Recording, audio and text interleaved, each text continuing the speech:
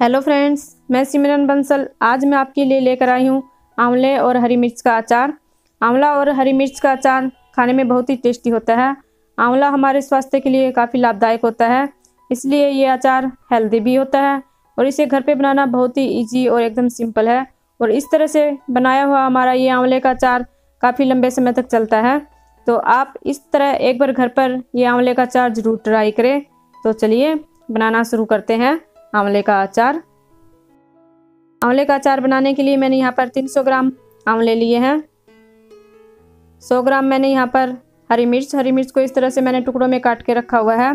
To table spoon मैंने यहाँ पर सौंप ली है। टू टेबल स्पून राई। आप राई की जगह पर पीली सरसों या काली सरसों भी ले सकते हैं। एक चम्मच मैंने यहाँ पर जीरा लिया है।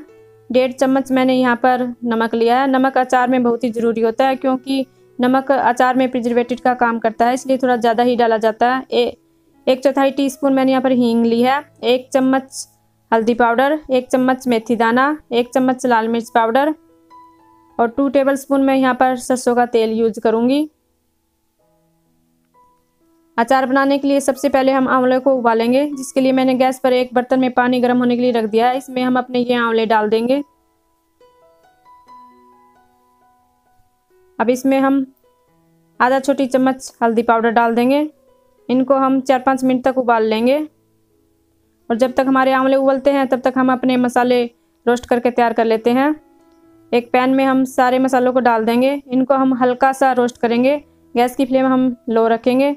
बस इनको हम हल्का सा रोस्ट करेंगे, ज़्यादा नहीं। बस इनकी हमें नमी ख़त्म करनी है। और ये देखिए, ये हमारे मसाले रोस्ट हो चुके हैं। अब गैस की फ्लेम हम बंद कर देंगे और इनको ठंडा होने देंगे। ठंडा होने के बाद इनको हम दरदरा पीस लेंगे। इधर हमारे ये आंवले भी उबल चुके हैं। अब इन आंवलों को हम पानी से बाहर निकाल लेंगे। पानी से बाहर निकालने के बाद इनको हम थोड़ा सा ठंडा करेंगे। और इधर हमारे ये मसाले ठंडे हो चुके हैं। अब इनको हम एक मिक्सर ग्राइंडर जार में डाल देंगे। और इनको हम दरदरा पीस लेंगे। और ये देखिए, ये मसालों को हमने दरदरा पीस लिया। मसालों को बस हमें बिल्कुल इस तरह से दरदरा ही पीसना है। इसे ज़्यादा बारीक नहीं करना। और इधर हमारे ये आंवले ठंडे हो चुके हैं। अब इन आंवलों की हम इस तरह से कलियाँ निकाल लेंगे। आंवले उबलने के बाद कलियाँ बिल्कुल आराम से ये अलग हो जाती है।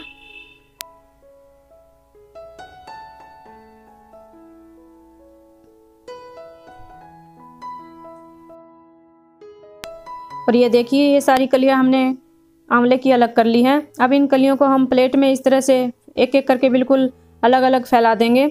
ऐसा करने से हमारा आंवला का अचार है वो काफ़ी लंबे समय तक चलेगा, क्योंकि इनमें जो भी थोड़ा बहुत पानी है वो सूख जाएगा।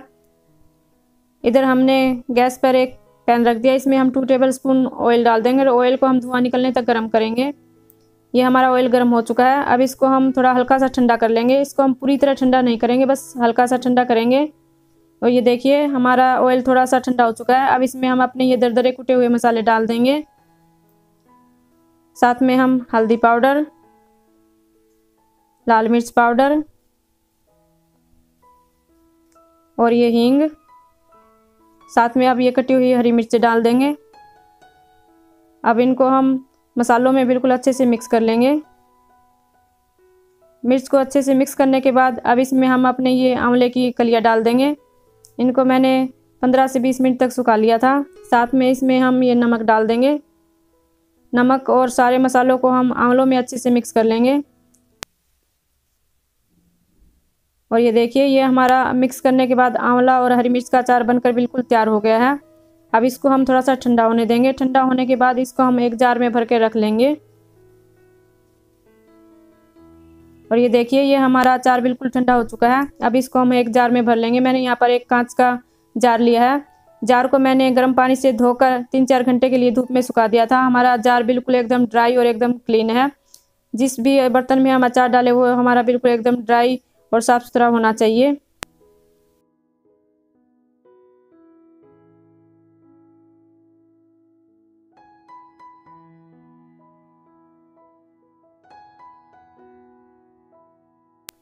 और ये देखिए, ये सारे अचार को हमने एक जार में भर लिया है। आप चाहे तो इस अचार को अभी खा सकते हैं, लेकिन कल तक इस अचार का टेस्ट और भी बढ़िया हो जाएगा, क्योंकि हमने जो भी अचार में मसाले डाले हैं, वो कल तक हमारे सॉफ्ट हो जाएँगे। इस तरह से बनाया हुआ अचार हमारा ये काफ़ी लंबे समय तक चलेगा। इसे हमें धूप में रखने की भी कोई ज़रूरत नहीं है, बस इसको हम बीच बीच में हिलाते रहेंगे।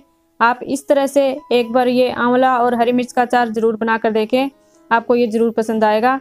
अगर रेसिपी अच्छी लगी हो तो प्लीज़ ला, इसे लाइक और शेयर ज़रूर करें। और साथ में प्लीज़ मेरे चैनल को सब्सक्राइब भी ज़रूर करें। फिर मिलती हूँ एक नई रेसिपी के साथ। तब तक के लिए जय श्री श्याम।